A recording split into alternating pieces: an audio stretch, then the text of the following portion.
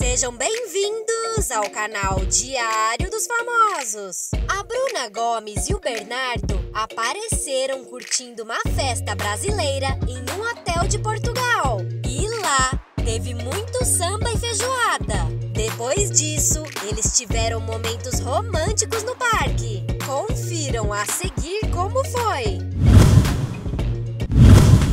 Tu é uma grande gostosa. Olha que não voltei pro Brasil, mas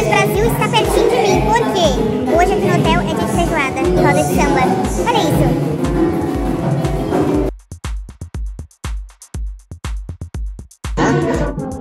Vai lá, eu já comi um. Agora tu vai lá, finge que é pra ti e pega outro pra mim.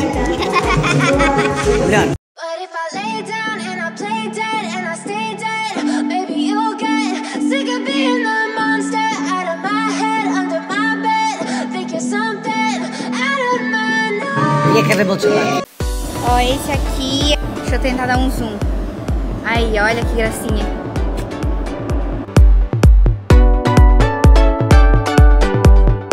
E aí, gostou do vídeo? Então deixa seu like, comenta e se inscreva no canal.